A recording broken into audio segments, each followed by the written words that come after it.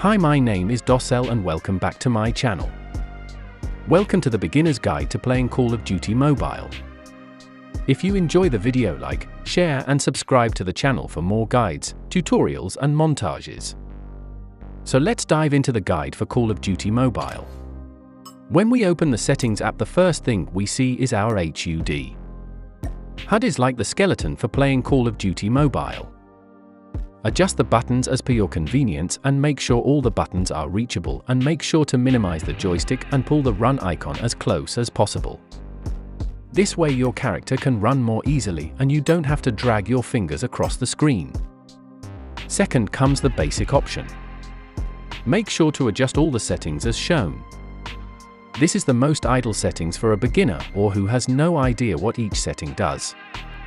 If you want me to make a separate video on this then mention me in the comments.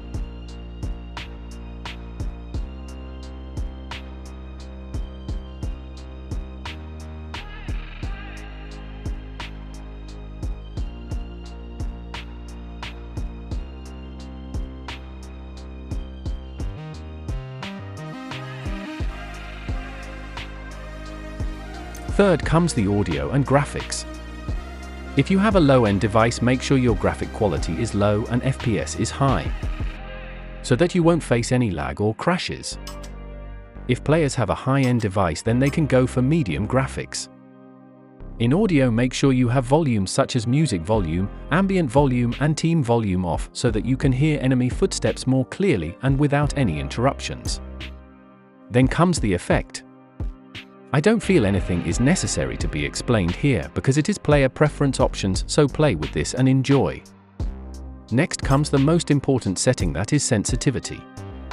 This is the most important option that many players ignore or don't pay much attention when they start playing. The rotation mode settings affect how your character turns and looks around in the game.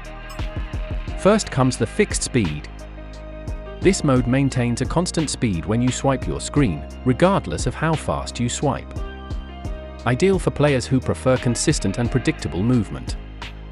It offers more control over precision aiming, as the speed doesn't change based on the swipe speed. Then comes the distance acceleration. Distance acceleration adjusts the turning speed based on the distance your finger travels across the screen. The farther you swipe, the faster your character will turn. And then last comes the speed acceleration.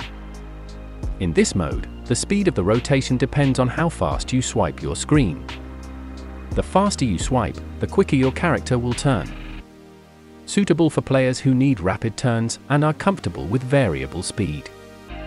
This mode allows for quick reactions and fast turning, useful in close quarters combat.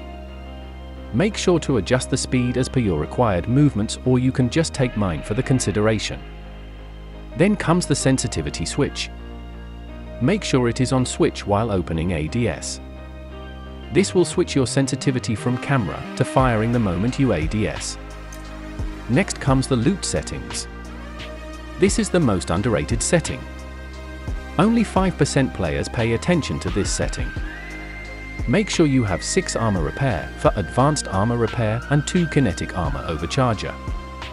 And for lethal and tacticals make sure you copy the one that I have shown so that you will have grenades and smokes in your inventory whenever you need them. These are my mods preference. I prefer you all to look at my mods video. Link in the description so that you will have proper knowledge about the mods.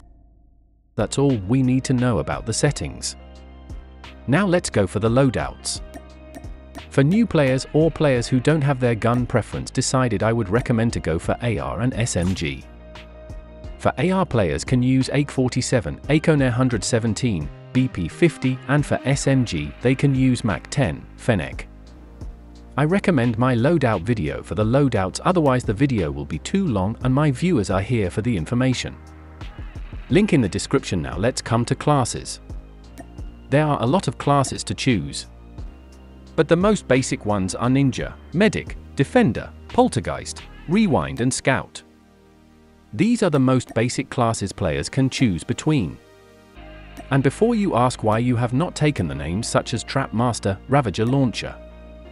Mate I am not a camper and I don't promote my viewers to be campers.